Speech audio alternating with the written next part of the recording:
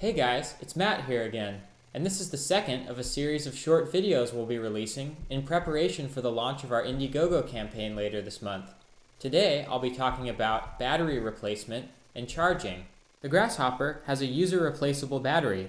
That means you can change it out at any time.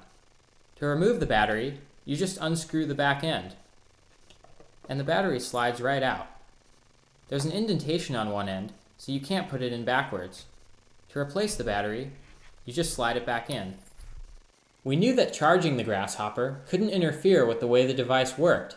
That's why we developed the snap-on magnetic charging ring. It slips over the button, and the LEDs will start flashing. You can use the Grasshopper while it's charging by just pressing the button like you normally would. We've made it USB compatible, so you can charge it almost anywhere. Thanks for watching, and remember to check back soon for some more videos. We'll be launching our Indiegogo campaign later this month, and we'd appreciate your support. See you soon!